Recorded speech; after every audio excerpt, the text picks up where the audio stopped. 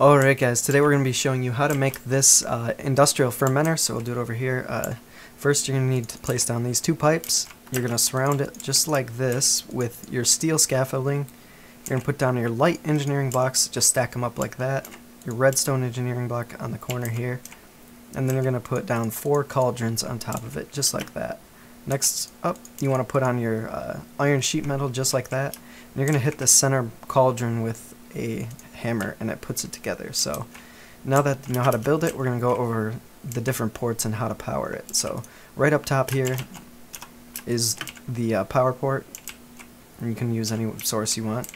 On this back side here, it's got these two ports here. So either one of these will pump items into it, and we'll go over what we can put inside of the fermenter in a second. But we'll go over to here now. This is for buckets. So if you put a bucket here, it's going to take the liquid out of here and fill it.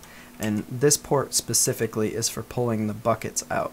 Now if you want to pull the liquid out directly, you use this port down here, which kind of looks just like that one. So it'll pull it out of the tank and you can put it into another tank. And right now we've got 20k ethanol. So, and if you can put a lever here if you want to turn this thing on and off, etc. But we're going to toss in our melon, apple, potato, and sugarcane. These are the four uh, basic vanilla items that you can put in this thing and it'll start making ethanol.